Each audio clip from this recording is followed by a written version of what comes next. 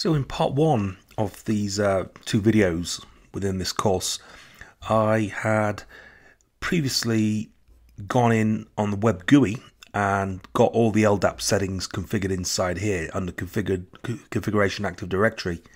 You can see here I put the IP address of the AD server and I got the JID, I created the JID, the XMPP account name inside CMS using this field here in the Microsoft Active Directory, SAM account name, enveloped by dollar signs, and then the at sign and the domain. Uh, what I'm going to do now is I'm going to use the API to achieve the same thing, and this is especially important if you had multiple CMS servers, a cluster of them, scalable and resilient deployment model uh, in the lab exam, you got to watch out if they've supplied a credential and they've instructed you to use the API, then you'd have to, although you could still do it on the GUI, you won't get any points for it.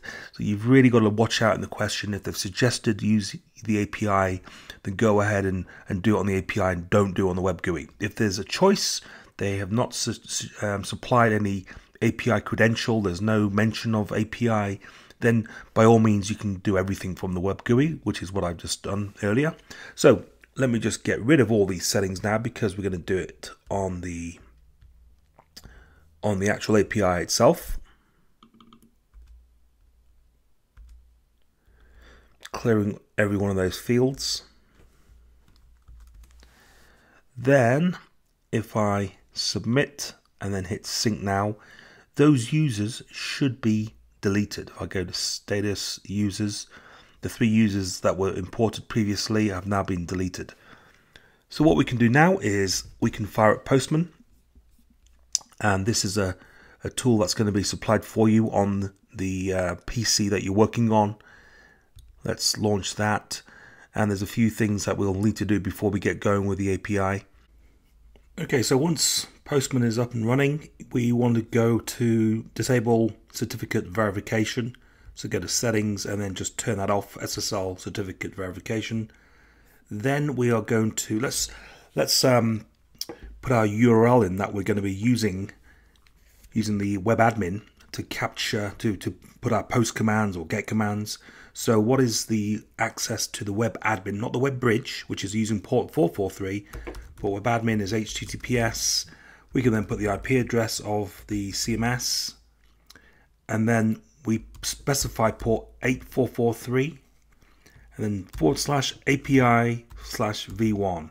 So everything that we do has to always have this prefix here, this, this string of the URL, and then we can put our specific um, the specific uh, API that we're actually adding or modifying after this API v1. So for example, if I put system status and then before I actually hit send, I'm going to put authorization and I'm going to use basic authentication and this is going to be an API credential I need to create in the CMS. So let's go inside there and do a user list. Well, we've got the admin user, but if you if there's a separate user for API access, let's put user add API and the role is going to be API and I'll put API as the password. So user list and we can now see that API has been created with the API credential, sorry, the API role. And I made it very easy for myself. The password is also API. They'll probably give you th things like that. That this will this will all be specified for you. Before we move on, let's go syslog follow and then let's enter API API right there. And then I'm hitting send. And then what we can see oh it says there's some kind of problem. What have I done wrong? 84 yeah so obviously I've got the the wrong port number there. It's it's it's 8443 not 433 so let me hit send again. And you see here we got the 200 OK right there and that's a success. And then we can see the version there is 229 and so great. This is an example. The first, maybe the first thing you could do is this get on the system status and verify that that's working. And now we can put our post commands in. And this is where we're going to be doing exactly the same things I did over here I went to configuration before an Active Directory. The first thing then is the LDAP server. So LDAP server is the first thing, then we're going to use something called LDAP mappings and then LDAP sources. So the documentation page, as a reminder, what you get inside the lab exam, if you go from Cisco's website, you can go to support and downloads and all products down there. So this is what you get. You can't navigate away from this. You have to then manually, you can't search either, so you have to manually, step by step down the hierarchy, find the document, document that you're looking for. So conferencing, and then we're going to have Cisco meeting server. Then inside there, we're going to look at programming guides. And then we've got this API reference guide. Although it's 2.4 and 2.5, it's still going to work for 2.2, 2.3. So inside the API reference guide, we're going to be looking at chapter, I think it's at chapter 11, but you can just do a search, do a search on LDAP. And yes, chapter 11. And the very first thing we're going to be doing here is, so we could do a post, which is adding something. We could do a put, which is modifying something. Get, you just see me do a get, that's retrieving some information, and then delete, which is self-explanatory. So the idea then of the API is when you've got a cluster, you're modifying, you're, you're using the API to modif- make the modifications because you obviously you can't you can have multiple LDAP servers, for example, whereas on the GUI you could only add one LDAP server. You could have multiple mappings and multiple, you know, reference multiple call bridges, etc. So API is very useful when you've got multiple CMSs, but it's not necessary to do in a single combined like we're doing right now. So this is really an FYI, but they may require you to use the API even though you could do it from the GUI. So the first thing here is, so this is after the API v1. We're going to be using LDAP servers and we're going to be adding these these parameters here. The ones without with an asterisk are mandatory. I mean, obviously username password typically is going to be there as well and then secure, we're going to say that's so very similar to what we had in the GUI. If you look at what we had in the GUI, we had the same things over there. Okay, so let me go and do that with the API. So we're going to be removing then system status, and we're going to be doing our first um, post. So we're going to switch that over to post, and everything that we've in terms of the authentication it's still there. Okay, so we don't have to do that. That's just a one-time thing. So we're going to be adding LDAP servers, and that's not case sensitive. We're going to go to body, and we have to select this encoding type over here, that ready button, and then we will reference that the uh, programming guide, the API reference guide, and we had server, we had uh, no, we had address, sorry, we had port, we had username, we had password. None of these are case sensitive and secure. Now we're going to be using false. Password's my password of my Active Directory. The username, this is not just administrator, remember we have to go and find out that full string. So we can just go from here. This is my internal DNS right now and just type in ADSI edit and then from there we can go pick one of the users in fact it's administrator isn't it let's go to administrator right click on there properties and then type in dist you get down to distinguished name and then you can copy that guy there return back and then let's paste that in as the username that looks good. Port number 389. If secure was used, it's 636. The IP address is right there. That looks good. Let me hit send. And I'm looking for 200 OK. Oh, it says bad request. Port. It says port number. Let's just reference the document there. Port number, you see there, not port. So it's caught that. So let's go back and fix it. port number. Okay, now we see a 200 OK, which is good. Let's just do a get on that, just to verify we only have one LDAP server, not multiple. Should always do a get, right? We have got one, one LDAP server there. And we're going to need this later on when we come to do our LDAP sources. So I'm going to just paste that into Notepad++.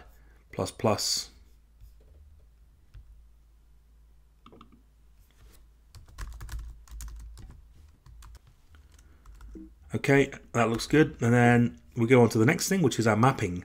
So the mapping is what what fields are we using from the Active Directory to create our JID, to create our account name. So we're going to switch that over to post and we're going to switch this over to LDAP mappings.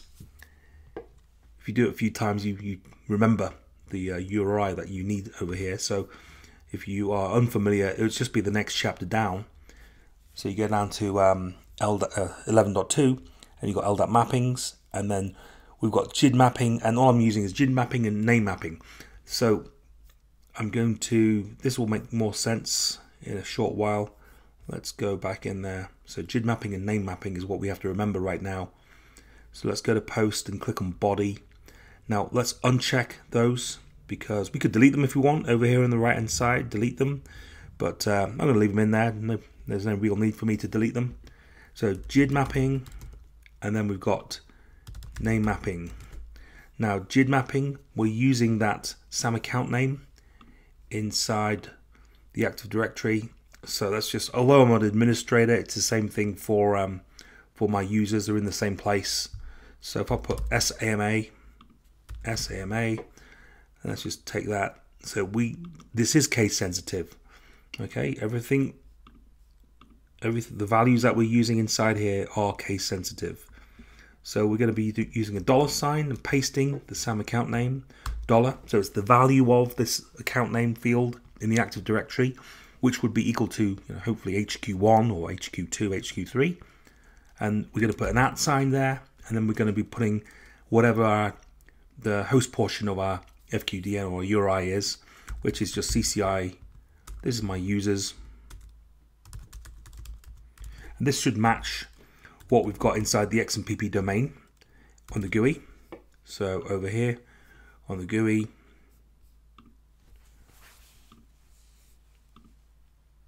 under general, this XMPP domain over here is what we're going to be using on the right hand side of the at side in the host portion. And this is where I've got that from. This is because my users are HQ1 at cciclapset.com. Those are my users, HQ2 at cciclapset.com. So this is specified in the lab guide the tasks. Okay, let's go back then. And I've made an error there, so let's just put the C back in there. So this will then be equal to HQ1, HQ2, 3 at cciclapset.com. The name mapping is just a descriptive name. So I can, if you're calling me, you will see like a calling name, display name if you like. And we're using CN there, which is in lowercase. And that's again, if you just go to CN inside the uh, internal DNS, you'd see that. Now, if we do a post, and we're looking at 200 OK, let's just do a get. We should then retrieve that because we're going to need the mapping, just like we needed the server a bit earlier. We're going to need the mapping as well, right there. And the final thing then is LDAP sources. So we're going to switch over that mappings to LDAP sources, and then we go to body. Well, we're going to post first, then we go to body, and then let's uncheck JID mapping and name mapping. Okay, and then we go down here, and what are we going to be putting inside there? We need the API reference guide for that. This will be 11.3. LDAP sources. I think did I put that in correctly? Let's just check. Take a quick look at that. LDAP sources, yes. I had a feeling I put LDAP source, but it's sources. And then we've got to be putting in um, this the the server, which is what I've got Notepad, the mapping. So this is how this is linking it all together, if you like. So the Active Directory server, what we're using inside the uh, Active Directory to create our account names or exit or JIDs, and then over here where we, where we, where do we start looking? And then let's filter. So again, with a filter, just like I showed you on the web browser, if you don't put a filter, it'll import not just HQ1, 2, and 3, it'll import administrator and the names of different groups and the guest account. So we really do need a filter. If the users are not in a separate group, then you can you, can just put SAM account name equals HQ star. That'll be my filter. So let's get that in there then.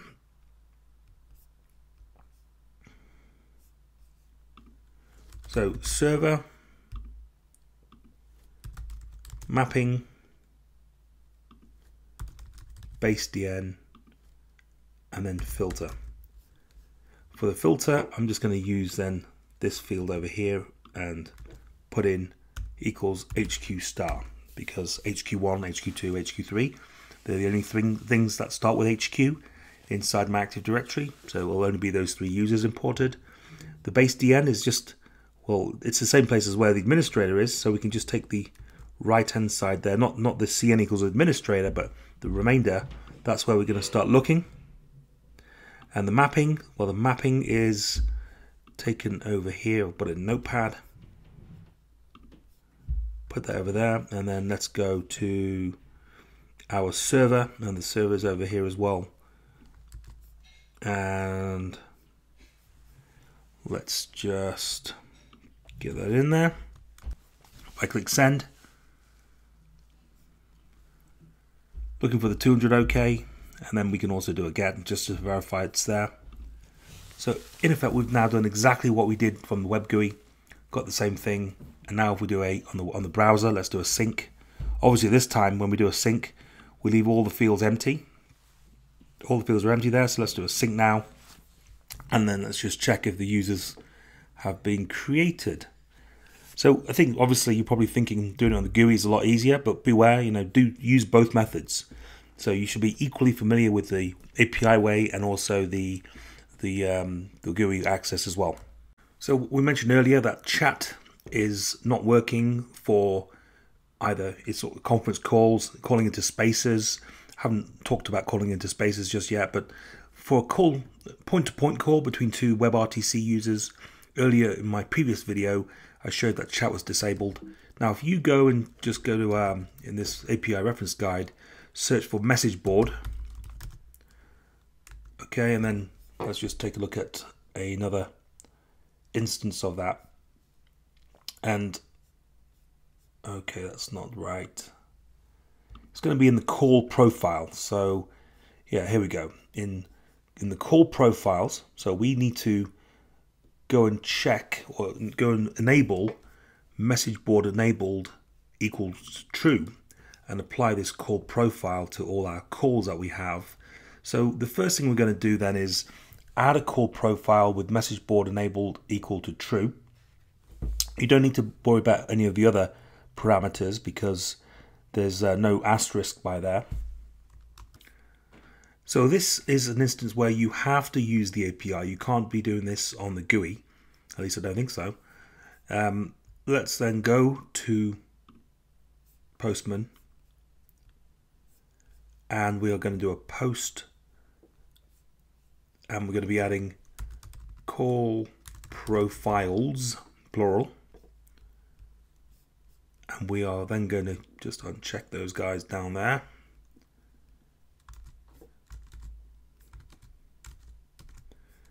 and it is called profiles plural okay?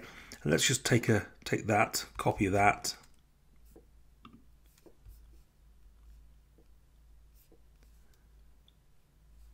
Okay and we're going to be putting that in the key and the value is going to be true.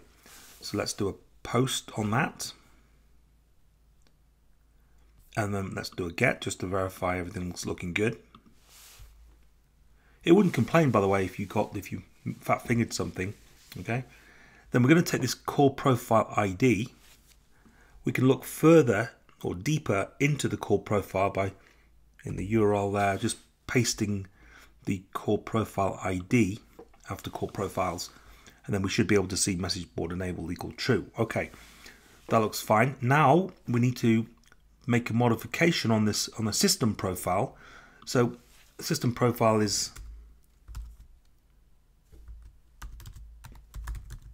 visible from here. Now I don't think you'll see anything. There's a default one. You don't actually see anything. So in fact, is that the right one?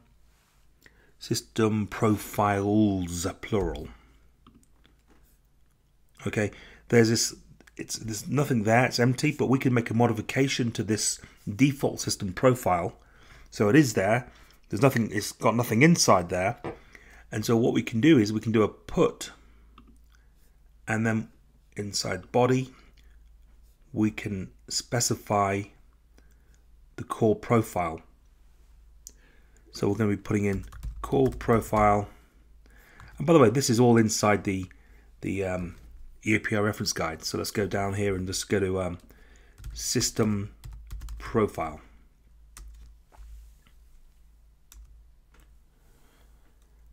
Okay, and so this is basically globally. There'll be uh, we're doing something globally right now, and then this is where we apply the call profile to system profiles.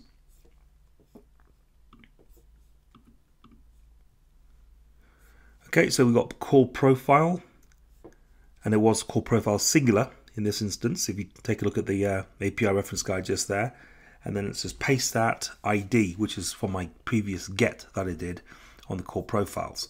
So let's just put, uh, let's put a, so we're modifying that, hence it's the put, not a post, and we've got the 200 OK. Now let's do a get on the system profiles, and then we should be able to see that the global system profile has this call profile there. Now, if I go and sign in, and I'm going to be using Site CPC and the internal DNS, so, or you can use BPC or HQPC. So down here, let's go and sign in as HQ1 at tciecollab.com, Cisco. And then let's go to the other guy over here. Let's uh, sign out, sign back in.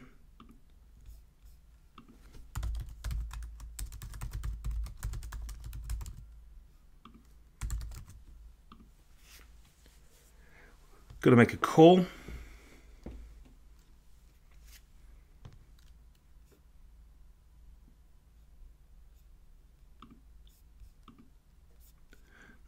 I again? I'm I'm two HQ. So let's make a call to one HQ.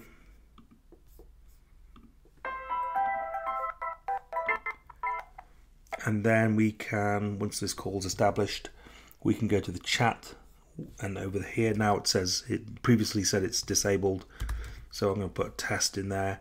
And we should be able to see that obviously on the other end. Over here. And there we go. We get test. And I'll just test back and test back is coming there so that's a very good thing to enable to enable chat when you've got these calls between two WebRTC users.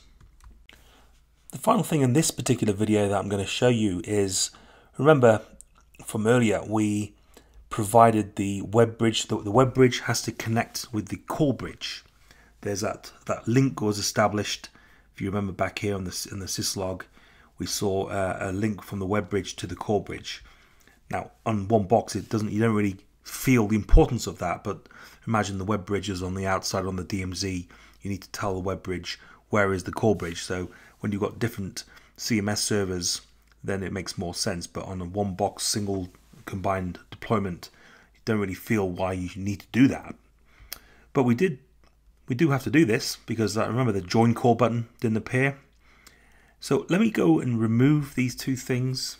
So this is again if I couldn't use the um, or I could not use the GUI multiple servers for example then I'm going to do it on API now with API then I'm going to search for web bridges so let's go down here and then let's put in my search web bridges one word and so that's just before the LDAP chapter 10.8 and we're going to be using just web bridges with URL that's all we have to do okay so right now, I think with the web bridges removed, let's see if I'm right there. The join call button may have gone by now. Let's go and check that.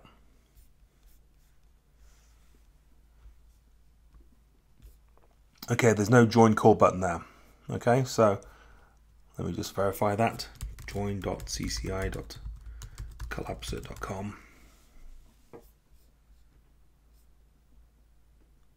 yeah, the join, join call button's gone.